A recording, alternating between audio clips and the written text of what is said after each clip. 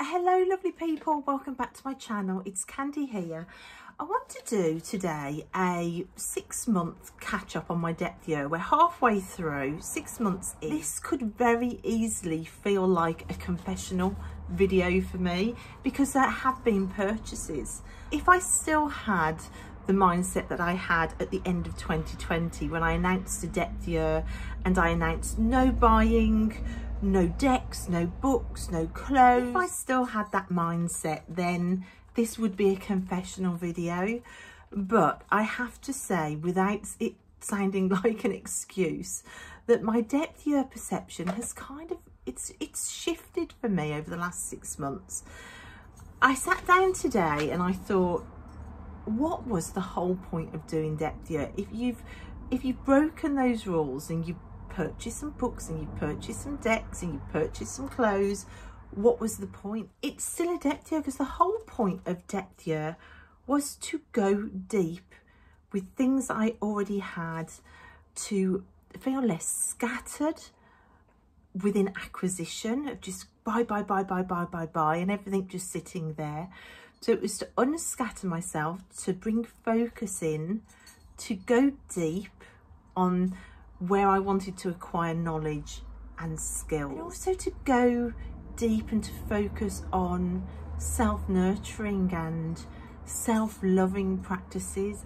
With that in mind, with depth year being about going deep, being re-centered and not as scattered, then I am still very, very firmly still on depth year. However, there are some purchases which I will be showing you, I will be sharing. So, depth year with purchasing, which is what I said when I filmed my uh, charity shop haul. Because the charity shop's opened for the first time in a year and a half. My favourite charity shop, which is so cheap.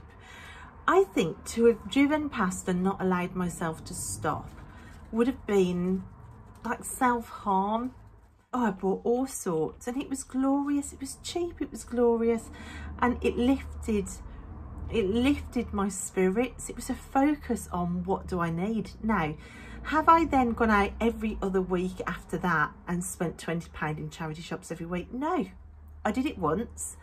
I took Tilly back to spend her pocket money and spent one pound on my white horse and my other altar and that's it. We're in depth here. we're focused we're self-nurturing we're not going mad. That's how I'm doing depth year. And I did say in that video that it was depth year with shopping.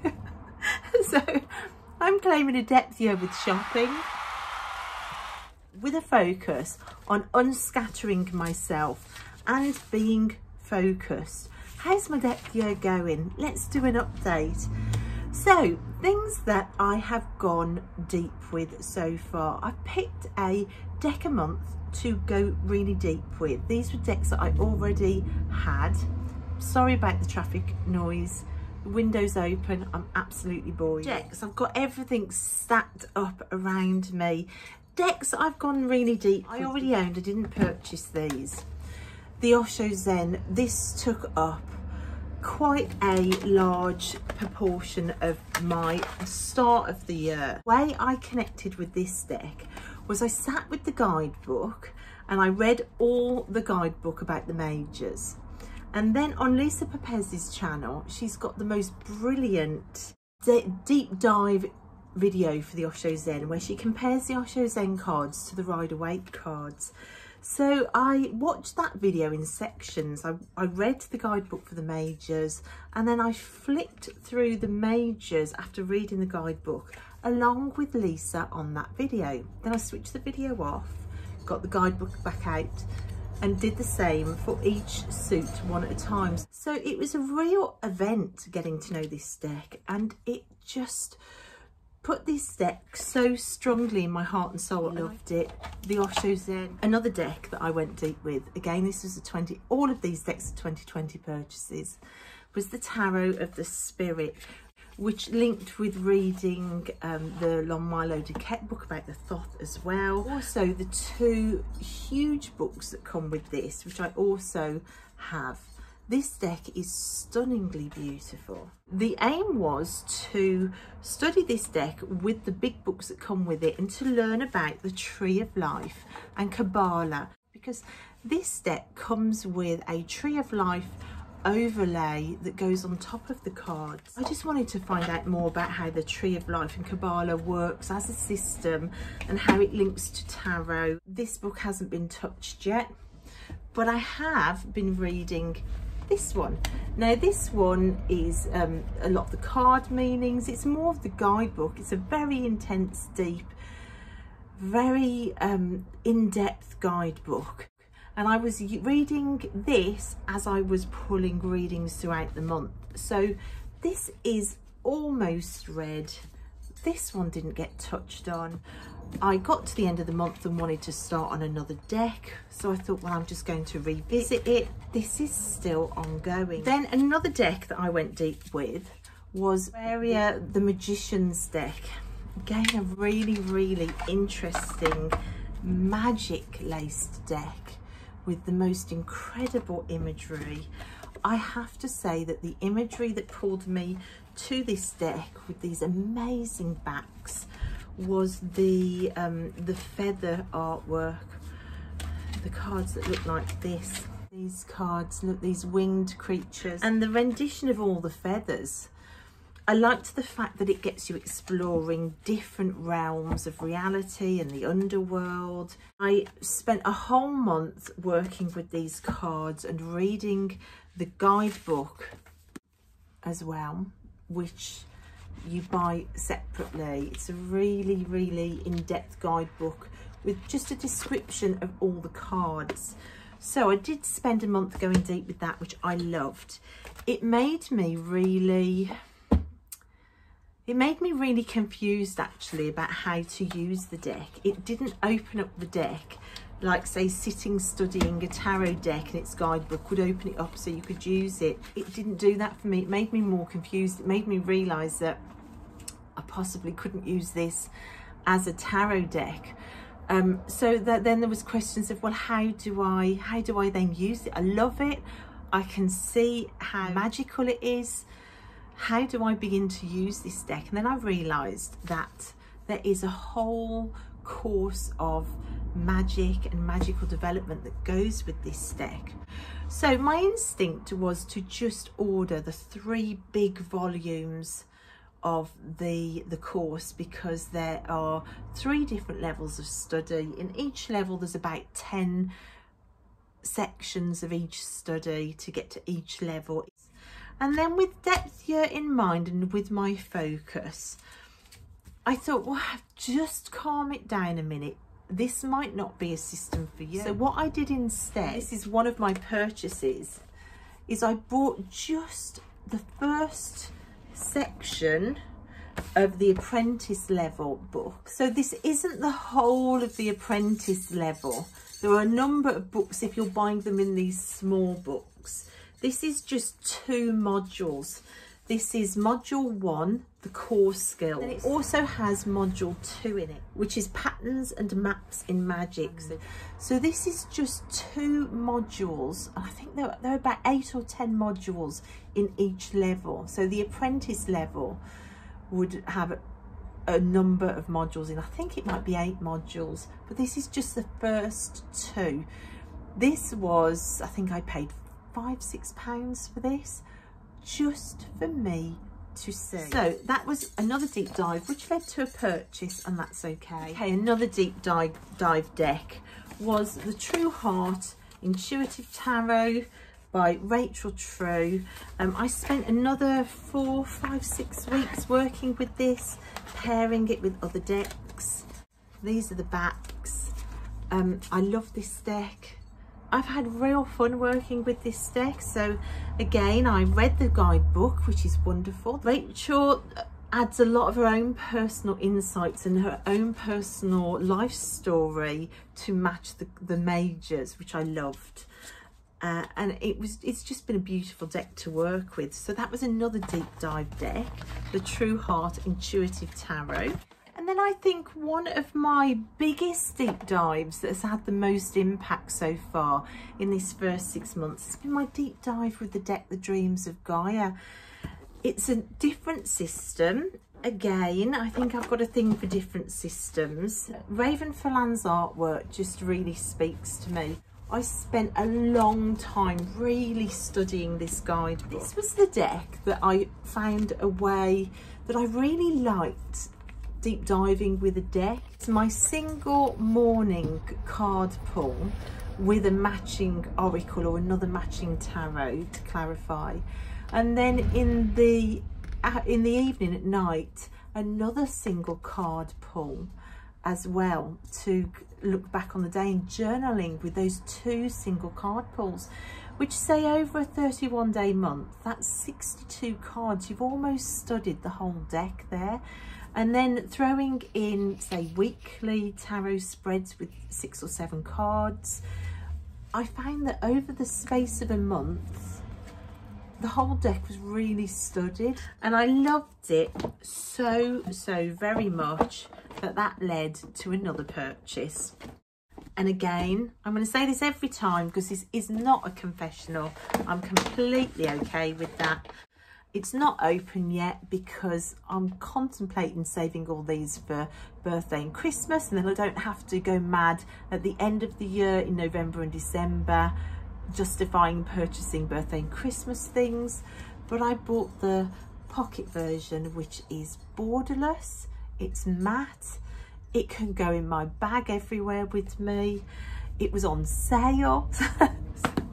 Dreams of Gaia. And then an unexpected deep dive was a gift deck that I ended up going deep with, which is the Carnival at the End of the World. Now, a friend of mine gifted me this deck. Um, she'd got two copies her copy was a favourite deck of hers too.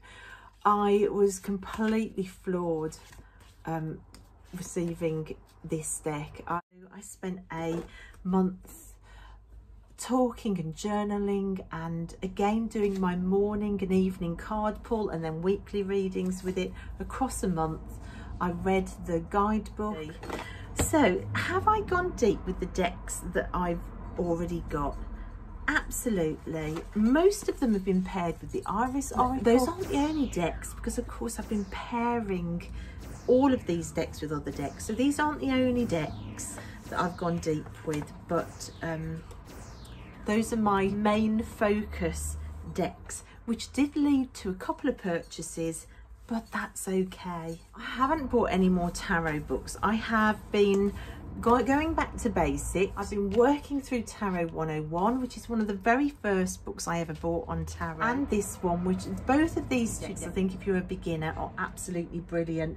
This is Liz Dean's The Ultimate Guide to Tarot, which is just fantastic for taking you through each card, which is brilliant.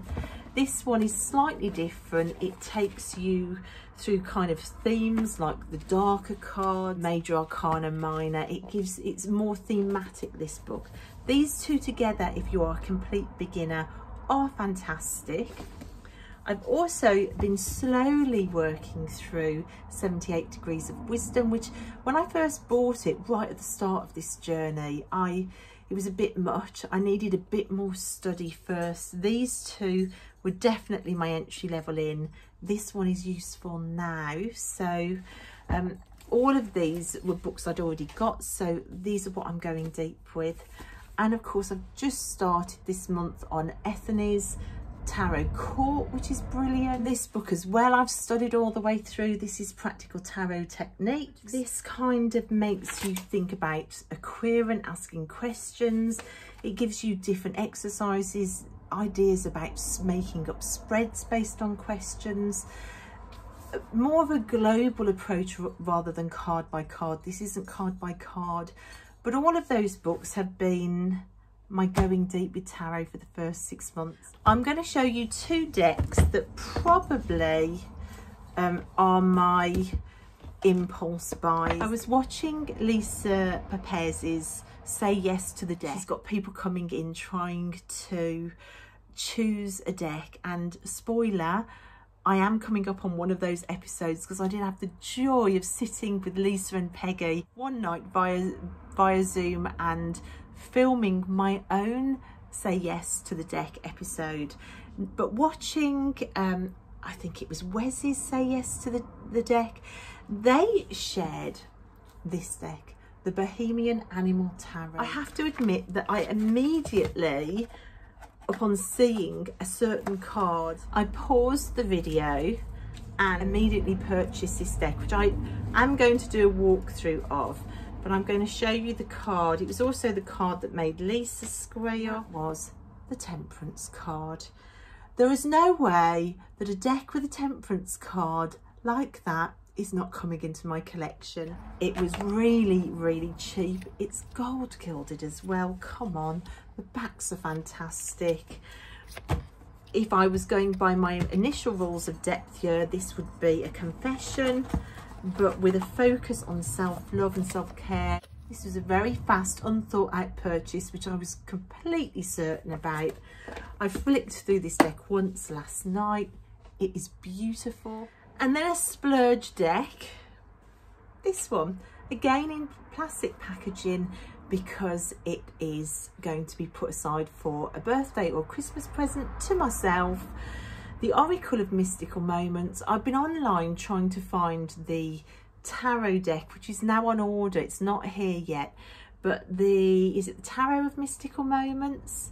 Or does it have a different title? Anyway, it's the tarot deck, not the Oracle that matches this. I was online looking for that because us in the UK, we've not been able to find it anywhere, but I found this reduced. Last week, the tarot deck has suddenly appeared and it was really, really reduced. I think it was in W.H. Smith, so that's coming. So I've got the tarot and the oracle, which will be put aside for Christmas for myself. That was another splurge. Sale prices got me on these. And within that sale, I saw this deck. The Language of Letting Go by Melody Beattie there was absolutely no way that this wasn't going to be purchased on the spot because Melody Beattie is really fundamental in my healing. Um, when I was first recovering from family scapegoating and having to go no contact and narcissistic um, conditioning and abuse, I was sat in therapy for a diagnosis of post-traumatic stress disorder after the hell that people put me through. And um, I can remember one day, one day not wanting to go in because I'd had a phone call out of the blue from my mother who immediately went into a gaslighting attack and within three seconds she destroyed me on the other end of the phone I was about 10 minutes before my appointment with my therapist, who was literally a minute down the road. And um, I hung up the phone, incapable of even movement, let alone going to a therapy session. He then called me to find out where I was and realised I couldn't even speak. And he just said, come down, I know you're just up the road come down to me right now. This is really going to be a really important session. We need to talk through what's happened. In that session, with makeup pouring down my face and bubbles of snot coming out of my nose because I was so destroyed, I managed to gasp out in sobs what had just occurred. And he very calmly looked at me and he said, you do realise you're codependent, don't you? I had never heard of the word, the phrase codependency in my life ever. I didn't know what it meant. He told me when you leave, you need to go and buy the books of Melody Beattie. I bought this one, Codependent No More, which was life-changing for me as a textbook codependent surrounded by cluster B personalities, this was eye-opening to say the least. I've then gone on to read Beyond Codependency and also Melody Beattie's Guide to the 12 Steps of Codependence. all three books are life-changing. That was my entry point really into um, not understanding narcissistic abuse because there were other books that came first. Uh, this was the entry doorway to to claiming the part that I played in it, which I think is the point you get to when you're ready to heal. What what lessons were there for me? What should what what lessons do I need to learn? Narciss narcissism and gaslighting and scapegoating is for other people to carry. Codependency is my bag to carry. It then led into other fantastic books like Pete Walker, Complex Post-Traumatic Stress Disorder from Surviving to Thriving. This was amazing. Also, this, which my which Rupert managed to get hold of as a puppy. Tao of Fully Feeling. This is another Pete Walker book. I've got a whole bookshelf of books, but Melody Beattie was my entry doorway in. So when I realised there was a deck to do with her work, it was a no-brainer. Now these are affirmation cards that have a keyword on the front and then advice on the back. So this one is solving problems and it says, today I will face any problems that are mine and work to seek solutions. I realise that there are always challenges in life, but I know that I have the ability to solve them and grow stronger in the process. So it, it's, it's a keyword and then advice. So we've got getting calm, Today I will stop searching for happiness outside of myself. If I am in a frenzied state, I'll get calm, get back on track and remember that the key to happiness is inside me. Often after I've become peaceful and accepting what I want comes with ease. This is pure Melody Beattie words and text and I am so pleased I got this this deck rejecting shame. I mean, my gosh, today I will learn to reject shame. Shame is an overwhelming sense that who I am isn't good enough. I realise that I am good enough and that my imperfections are part of being human. I let go of shame. So there's this today I will message on the back of each absolutely fantastic. Okay, then I want to come on to another category, the work of people I know and respect online and the fact I wanted to support them. So this book, The Art of Cosmic Creation, um, this is by the gorgeous Amber, Amber Torn, who you will probably know from her YouTube channel, Lavender Moon. This is a channeled book where she speaks with this entity called Lavender Moon, this orb-shaped being that she sees and that gives her information. This book is absolutely awesome. I'd spoken to Amber a few times on the phone. I'd got the wrong end of the stick with this book. I thought it was some. I thought it was more like just a ghost story book. She went, no, no, it's this, this, and this, and I suddenly thought, oh my gosh, it's going to be so useful to read it's more than useful it's fantastic um, Amber if you're watching I love it. I think you're fantastic. You're, you're a brilliant writer. This was a purchase not only to support Amber but because this book is damn fantastic and it was just what I needed. Another book purchase from somebody I know and love online is Kelly-Ann Maddox Rebel Witch.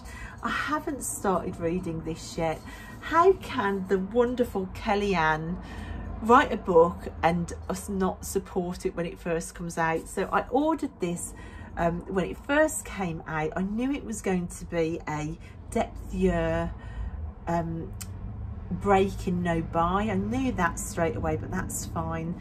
This is going to be put aside for Christmas. I struggle at Christmas because at Christmas the kids go to their dads on Boxing Day for seven, eight days straight and it breaks me every year.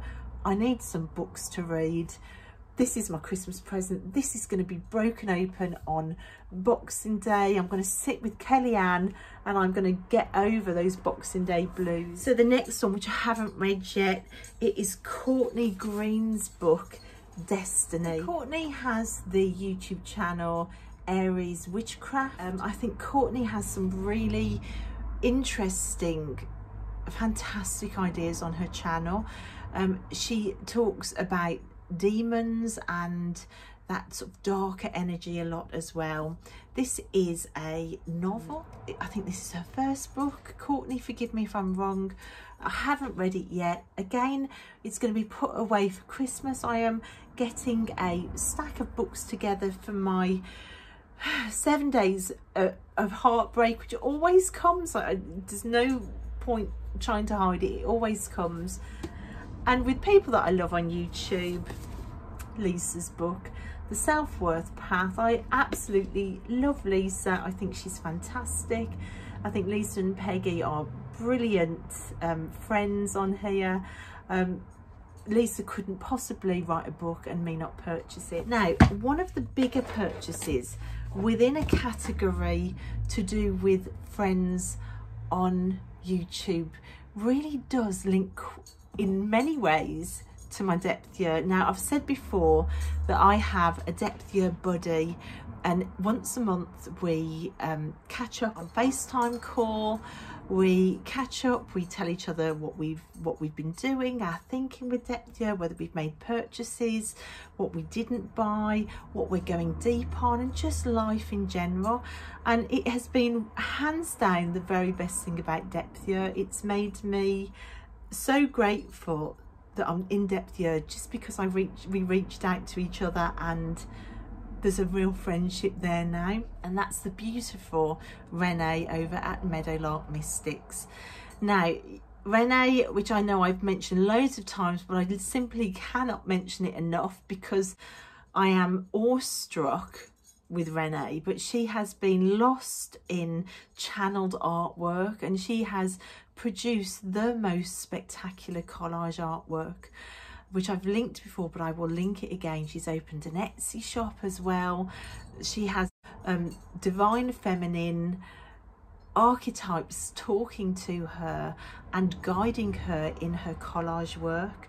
To say I've been blown away by it is just the understatement of the century because I've been talking to Renee in the background and I've kind of seen her thoughts on all of this kind of evolve. It was a slow evolvement then suddenly wham! And I knew that she'd been smacked by some sort of divine channeled magic and then all this artwork appeared and I I don't I don't know who was more surprised her or me. I just was floored by it truly art witchery in practice and the pieces that she's making are unbelievable. And there's an Oracle deck coming as well, which is so exciting. And when she first opened the Etsy shop, I am proud to say that I am the first person that purchased some art from her. I bought some of her plaques. They are upstairs, completely unopened, ready for my main Christmas present. That is my main Christmas present to myself.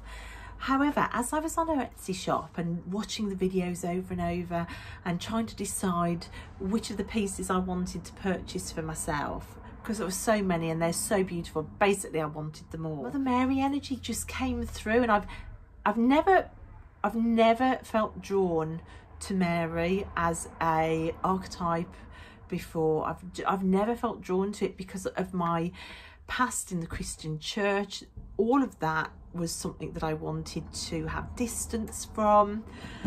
However, Renee's artwork opened a door for me and I it was a niggle in the back of my head and unbeknownst to me one of the pieces that I bought from Renee was her Mary piece because I just went on the visuals I didn't really look at the names or I didn't look at the names at all of the goddesses and she said oh you've got Mary and I've also got the maiden one, which is Mary as a young girl. So I was picking up Mary energy and I bought two of the Mary plaques. I think there's something there. There was a niggle there and I had pulled my Bible back out to try and do bibliomancy with it because of feeling pulled to Mary.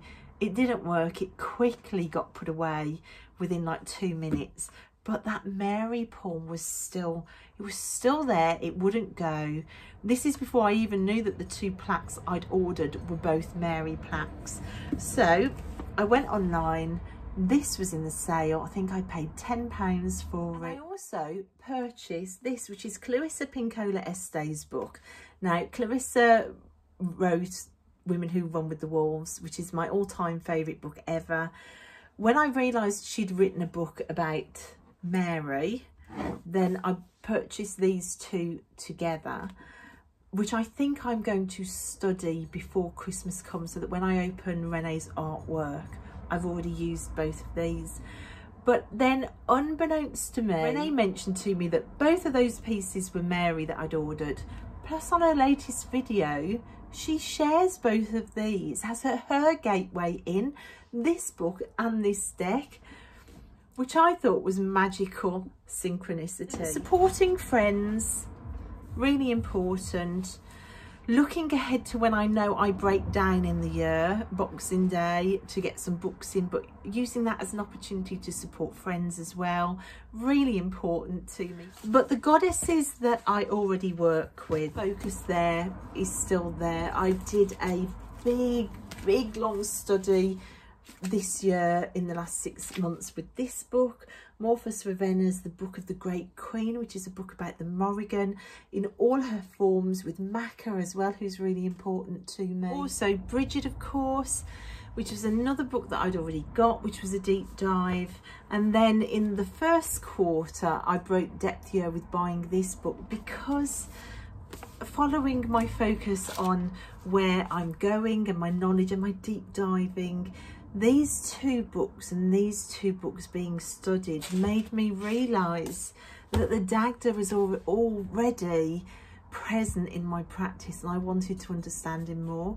So this has been read as well. So but what these books have done, these books have made me completely obsessed with Genius Loci, understanding that I'm connected to place and therefore centering me very firmly within Celtic traditions, the magic of the UK, sites of the UK, places in the UK, including Ireland, which I've always had a call for. It's just really focused me on that's what my practice is and it's made me a little bit obsessed with finding out everything I can about magic, magical history, traditions and myths of the UK and Ireland. So that has led me probably into my biggest spending within depth year and again I'm okay with it because am I scattered?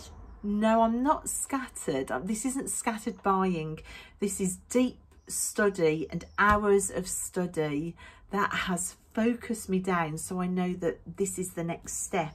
So books now that are currently in my collection that are really important for me to read. I bought the Book of English Magic just to find out more about where I'm from. I bought this, which was secondhand, which was dirt cheap, which is Enchanted Britain, Mystical Sites in rural, England, Scotland and Wales. So I grew up on the Welsh borders, up near the Black Mountains and uh, near Hay-on-Wye, the book town which you might have heard. Uh, so Celtic origins and Enchanted Britain is, is it's my heritage and with lockdown lifting as well and me feeling stir crazy in the house, part of me just wants to get in the car and go travelling around Enchanted Britain and to find all these sites. It's a combination of what I need now for getting out of the house and also my next step on my spiritual practice. Another second-hand book I found was this one, which is a little bit battered. You can see it's a, a really old second-hand book. Atlas of Britain with pictures and maps. And it takes it county by county and lays out where you can find all the magical sacred sites in Britain. Just so excited. And then I did splurge because I was Googling all of these books to try and find secondhand books like this. Of course, Facebook threw up some ad adverts because everything's linked. And this came up. Great British Folklore Superstition Map. So this map gives you 1,400 locations for um, spooky, supernatural, witchcraft, legendary myth sites around Britain. So it definitely, definitely is not a no-buy depth year, but it is a unscattered focus depth year. There isn't mindless spending, there isn't mindless ignoring of things on shelves. Um, I feel like my spiritual path is deepening and has a has targets and goal, goals isn't the right word. It has a direction that's right for me. So I feel very focused very nurtured. I feel connected through community through these purchases as well which is lovely. It's just been really fun. And there probably won't be another spend for the rest of the year because that's all going to take me a while to get through and because it is focused buying I know that this is the next step and this is going to take a while to get through. So an unscattered buy yeah. I hope you enjoyed that update. I hope you found it interesting. If you're on a depth year I hope that it gave you some ideas of the way you could go with it. If you're feeling that saying no to buying is actually feeling damaging. I hope again this gives you permission to step into a unique map for depth for yourself. I think the word for me is unscattered. An unscattered year where everything that I brought in, it isn't scattered, it isn't grabbing, it isn't for no reason. If you're on depth year, tell me how you're doing. Tell me if you've changed your ideas about depth year, if you've adapted something, you might have been spending like I am and have shut it down totally. How are you finding that? Tell me in the comments. I would absolutely love to know. If you've done a depth year in the past and you want to share how it went for you, then let me know. If you are adamant you would never do a depth year, let me know as well. I would just love to know your thoughts on it because it is really interesting to me because I'm in the middle of it myself. Okay guys, thank you for watching and I will see you next time. Bye.